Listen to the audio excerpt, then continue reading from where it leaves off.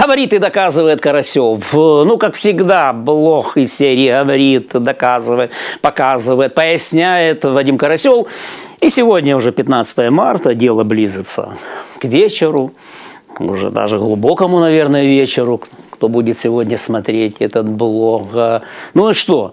Уж полночь близится, а Германа все нет. Нет, бабах, ха, который нам предсказывал Дмитрий Ильич Гордон. Э, все над этим потешаются, смеются, разного рода мемы, картинки. В общем, похитили дискурс Bellingcat, дискурс обвинения нынешней власти вот, в какой-то измене, э, или не власти, а каких-то представителей власти, похитили насмешники, пересмешники, ну, в логике дискурса иронии, политической иронии. Э, вот. Но я думаю, что как раз и задумано было так, чтобы все время назначать какие-то даты появления фильма расследования о предательстве, э, там история с вагнеровцами и мнимом каком-то предательстве представителей власти относительно вот этих вагнеровцев, которые якобы хотели выманить или хотели выманить, но не выманили и так далее, и так далее, для того, чтобы снизить вообще-то э, серьезность самой этой истории. Ирония – пародии, пересмешки, мемы и тому подобное и так далее, э, иронический постмодернистский дискурс или дискурс постмодернической иронии, это как раз самое то, что снижает накал скандала, что снижает Э, резонанс возможный, публичный, не только публичный, а и политический, и даже геополитический резонанс. Так что еще, наверное, несколько дат таких мы услышим для того, чтобы просто к этому относиться более-менее спокойно, более разумно, более рационально, без вот этих разного рода эмоциональных возгонок, либо вверх, либо вниз с помощью иронии, сатиры, юмора и других постмодернистских штучек. В общем, так работают сегодня медиатехнологии, и, наверное, по-другому они сегодня не могут работать, и по-другому, наверное, нельзя сегодня описывать те или иные факты даже большой политики или больших шпионских э, или войн, или войн разведок и тому подобное. Но говорить сегодня будем не об этом, потому что сегодня просто очередная годовщина очередного бабаха. Наверное, таких будет там еще 21 марта, а потом еще в апреле. Кто-то уже перенес это на апрель, кто-то говорит, нет, будет 21 марта. Ну, в общем, это хорошая, скажем так, история или хороший показатель. Ну, как можно заболтать проблему, как можно снизить серьезность э, самой этой истории. Ну, в общем, э, как говорится, дальше будет. Но, наверное, никакого бабаха э, уже точно не будет. Но говорить будем сегодня о другом, о том все-таки, почему не звонит Байден Зеленскому даже с этим вопросом, таким риторическим, возможно, а возможно, действительно, скажем так, серьезным вопросом озаботилась э, ну, одна из ключевых э, американских газет «Рупор», скажем так, американского истеблишмента, Вашингтон-Пост в редакционной статье «Почему не звонит Байден?». Ну и разного рода версии выдвигают американские политологи, эксперты там, с, с привлечением мнения и экспертов с Украины и других экспертных институтов и тому подобное и так далее. В общем, почему не звонит Байден? Ну и говорится о том, что Байден, в общем-то, выдвинул условия. Позвонит он Зеленскому тогда, когда Зеленский разберется с Колобойским и с другими олигархами. Ну что сказать по этому поводу? А сказать, в общем-то, надо следующее. Ну, американцы поступают, в общем-то, в русле своей, э, скажем так, привычки прагматического следования тем или иным э, задачам э, или решению задач э, во внешней политике, в геополитике. Фактически предлагают Зеленскому сделку, дел. Так, договороспос... проверка, проверяющая его на договороспособность. Вот когда Зеленский освободится от э, там, олигархов или освободится от э, зависимости от Коломойской, мнимо, реально, или чуть ли не, не будет, до тех пор, пока он, скажем так, не будет преследовать Коломойского за коррупцию, вообще не будет бороться с коррупцией, не поборет коррупцию в стране и не будет проводить реформы, такой звонок, э, ну, скорее всего, не прозвучит, он будет откладываться и так далее, и так далее. Ну, вот так на это все смотрит газета «Вашингтон-Пост». Напомню, в редакционной статье. Хотя, возможно, все намного проще, потому что пока еще в Госдепартаменте США не назначен сотрудник или работник, или специалист, э, или представитель, спецпредставитель, или куратор по Украине. Говорят, что на эту роль э, давно уже пробуют Викторию Нуланд, но вот она как-то там не пользуется в Вашингтоне большой любовью, этот процесс затягивается. Возможно, поэтому. Но если уже отталкиваться от редакционной статьи Вашингтон-Пост, то, наверное, все-таки нужно обратить внимание на то, что э, вот американцы предлагают сделку или договор Зеленскому. Э, звонок в обмен на преследование олигархов, борьбы с, борьбу с коррупцией или, по, сказать, из, ликвидация коррупции, ну и прежде всего э, в обмен на криминальное преследование Коломойского за коррупционные грехи, прегрешения и так далее. Даже вот, не спасает Коломойского тот факт, что в 2014 году, будучи губернатором Днепропетровской области, он сделал все, чтобы остановить русскую весну, которая достаточно серьезно угрожала тогда Украине, вот и не пошла дальше. Донецка, Луганска и не вышла а, вот, э, в пределы Днепропетровской области, Запорожской области, Харьковской области и тому подобное далее. Но это все, это уже э, не, защит, не засчитан, как говорится, это зачет не сдан коломойским американцам, сегодняшней американской администрации, но все это очевидно вот за то, что по мнению нынешней американской администрации Коломойский топил за Трампа, э, отсюда пленки, э, так называемые пленки Байдена-Порошенко, участие Дубинского Александра, вот уже исключенного из партии «Слуга народа», а ныне народного депутата, близкого к Коломойскому в пресс-конференциях соответствующих и так далее, и так далее. Ну, мы помним, какое Рубилово было в Америке во время э, президентской кампании, в которой чуть Трамп не победил, а чуть Трамп не проиграл. Поэтому, очевидно, вот тема с пленками, да вообще с Украиной, с буризмом и так далее, она является вонючей, токсичной и тому подобное для нынешней американской администрации и президента Байдена. Вот ему сделку Зеленскому предлагают. Давай, разберись, накажи, э, ликвидируй, убери, тогда, наверное, будем с тобой э, разговаривать. Вот Именно такой договор, вот на такую договороспособность толкают, э, толкают Зеленского и ждут. Ждут и ждут.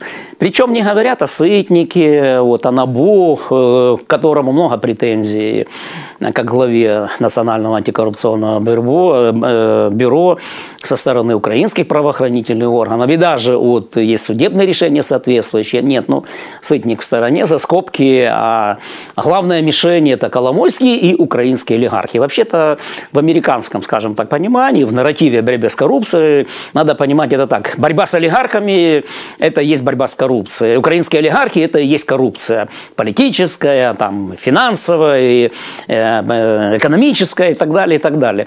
Ну хорошо, а как, в принципе, э, так, что просто победить, так, что просто все доказать, тем более, что по отношению к Коломойскому есть э, дело заведено Генеральной прокуратуре, не знаю, как оно будет расследоваться, на какой стадии оно расследовано, но формально дело это заведено, но этого мало американцам. Этого мало Байдену, это мало нынешней американской администрации. Они требуют э, ну, такой символической, политической, экономической, криминальной крови Коломойского. Ну и это касается других олигархов. Убрать подальше от власти, удалить из политики, из сфер влияния э, других украинских олигархов. Ну, мы знаем, один давно уже в Вене, а другие еще здесь как-то э, вот, держатся на плаву. Вот такую задачу ставят перед, э, или пытаются, так сказать, такую сделку оформить с Зеленским Байден. Ну, понятно для чего, потому что нет олигархов в Украине, это не значит, что не будет коррупции. Она будет, просто она будет другой и, возможно, с большим внешним влиянием, потому что отсутствие украинских олигархов при всех претензиях к ним Это не только коррупция, это и футбольные клубы, это и медиа, это газеты, это а, другого рода, это и музеи, кстати говоря, и современного искусства, если взять того же Пенчука, и другие благотворительные социальные проекты, которым, которыми занимался Ахметов, э, вот, э, и, начиная с оккупации Донбасса. Не защищаю украинских олигархов, просто надо это понимать, что украинские олигархи это не только мнимая или реальная политическая, финансовая финансовая коррупция – это еще то, что называется современной Украине, кто бы к ней никак не относился. Плохо, хорошо, нейтрально и так далее. Неизвестно, что будет еще. Можно это все уничтожить, но, но интересно, а что возникнет на, вот этого, на этих обломках олигархического самовластия. Лучшее что-то, худшее что-то. Вот на этот вопрос тоже надо нам э, сказать, найти правильный ответ. Э, и тем не менее, не всесилен Зеленский для того, чтобы вот сейчас э, использовать всю карательную машину, вот, э, применить и, э, ее, сказать, карай, карающий меч э, по отношению к Коломойскому и к другим украинским олигархам. А что же делать, если на данном этапе Зеленский не скажем так, не готов или не в состоянии пойти вот на такого рода договор между Байденом и Зеленским. Думаю, что не надо э, вот э, преувеличивать, ну, скажем так, условия вот этой сделки, они могут измениться и со стороны американской администрации. При одном условии. Если главой государства, Зеленский будет не только главой государства, но и главным по стране, если он будет контролировать ситуацию в стране, и если кроме него американцам не с кем будет договариваться. В общем-то, Зеленский это и делал на протяжении вот последнего времени, когда он пытается убрать э, всяких претендентов, номинантов, кандидатов на особую внешнеполитическую роль в Украине, что э, на линии Киев-Москва, Киев-Кремль, чем занимался Медведчук. Но вот сейчас Зеленский продолжает это, скажем так, наступление, вытеснение для того, чтобы все-таки оставаться одним договороспособным или переговорщиком со стороны Э, вот, той стороны, если об этом или в этом будет потребность, если это понадобится. А с другой стороны, много рода и тут э, детей э, президента Байдена, ну, как детей когда-то лейтенанта Шмидта, так, вот, все претендуют на роль особую, на особую роль, скажем так, или быть представителем Байдена, готовят какие-то послания, какие-то меморандумы, какие-то планы из 12 пунктов, которыми должна следовать сегодня американская администрация, и Киев. В общем-то, хотят себя предложить в качестве тех, кто будет последовательно проводить и реализовывать политику американской администрации по отношению к Украине или даже в Украине. Но вот такого рода тоже, друзья, Байдена Зеленскому не нужны, поэтому и продолжается наступление и вытеснение Порошенко, который в силу многих обстоятельств мог бы рассматриваться американцами в качестве вот такого посредника. То же самое самое будет, наверное, касаться Яценюка, вот, который всегда щеголял, бравировал тем, что у него какие-то особые, скажем так, родственные, э, сыно, сыновьи отношения э, с Байденом э, и по отношению к, к Яценюку, у которого некие отеческие такие отношения, заботы, отцовства, и, от, от, отцовства и так далее. Но, в общем, задача Зеленского, мне кажется, состоит в том, чтобы убрать всех претендентов и номинантов на основного переговорщика на многих направлениях, на немецком, э, евробрюссельском, э, вашингтонском, э, кремлевском, китайском и так далее. Потому что президент, он и есть субъект скажем так, тот, кто реализует внешнюю политику страны, осуществляет внешнеполитическое руководство, осуществляет руководство дипломатии, и разного рода посредники, которые возникли тут в силу разных обстоятельств, в силу внутриполитических и внешнеполитических обстоятельств, которых проживает, живет и существует э, политический и геополитический Украина, э, ну, не с числа им этих, скажем так, кандидатов. Вот поэтому, на, я думаю, Зеленский будет и дальше, э, скажем так, проводить это наступление для того, чтобы поставить всех перед фактом, что кроме него тут не с кем договариваться что нужно учитывать и э, ситуацию Э, в Украине, что не нужно навязывать Украине какую-то, какую-либо сделку. Неважно сейчас, насколько она э, в интересах Украины или противоречит Украине, а сам принцип.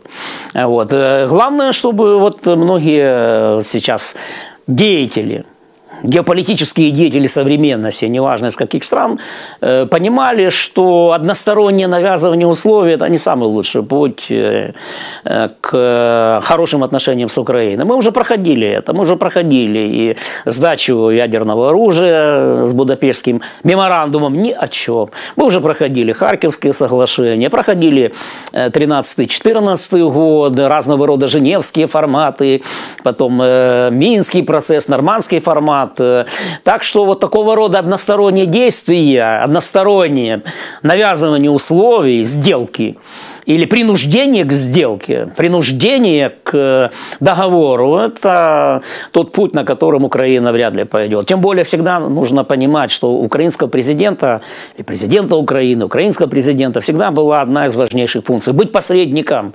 между правящим классом страны и внешнеполитическими центрами влияния. Это его одна из главных задач. Она, конечно, не прописана в Конституции, там нигде про это вы не, не увидите, не, не услышите, э, не написано и так далее. Но это всегда была главная э, функция де-факто президента. Всегда быть посредником между украинским правящим классом, в том числе олигархами или прежде всего олигархами, и внешними рынками, например, та же Россия, рынки СНГ, э, Казахстан, э, Китай и так далее далее. И, с другой стороны, западная Европа, Европейский Союз, Соединенные Штаты Америки, быть посредниками, быть посредником, защитником какой-то степени, переводчиком пожеланий или интересов украинского правящего класса, который является важнейшей, которые интересы являются важнейшей составной частью национальных интересов Украины на внешний контур, на внешние дипломатические, геополитические рынки. Это тоже надо понимать.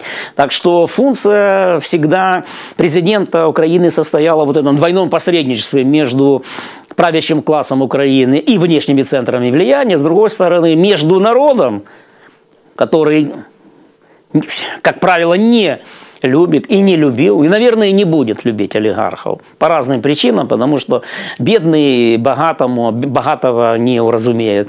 А, но, с другой стороны, президент – это всегда какой-то амортизатор для того, чтобы правильно выдерживать балансы между бедными и богатыми, между бедным большинством и богатым сверхменьшинством, между олигархическими интересами, даже если это компрадорские интересы, и общенациональными интересами.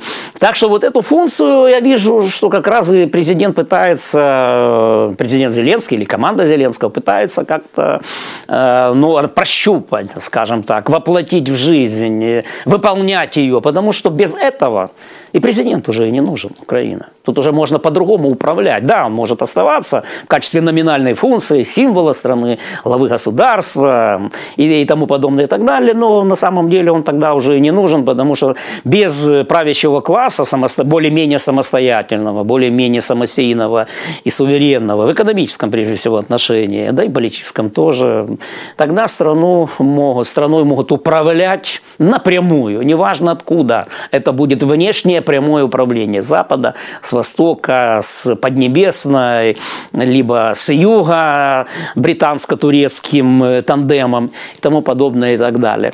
Так что ну, я думаю, Украина проживет и без звонка Байдена, пока ничего страшного нет. А до тех пор, пока наши западные партнеры, друзья, и стратегический партнер, такой как США, поймут, что э, все-таки договор или сделка – это на двоих. Танго танцует вдвоем. В одиночку тангует, танцуют не танго, это уже будет что-то там рэпа, э, рейва, брейкданса, ну что-то такое, что, в общем-то, далеко от э, политических и геополитических реалий. В общем, так выглядит история с звонком Байдена. Ничего страшного нет. Подождем. В конечном счете э, не все сводится к звонку. Да и, в общем-то, не все скажем так, сводится к роли Америки. Ну, хотя Америка это и э, мировой лидер, но не пуп Земли. Это был блог «Говорит и доказывает Карасев». Не забудьте подписаться. Там у нас идет, постоянный рост подписчиков идет, но нужно все-таки делать и дальше нам усилия по э, распространению наших блогов,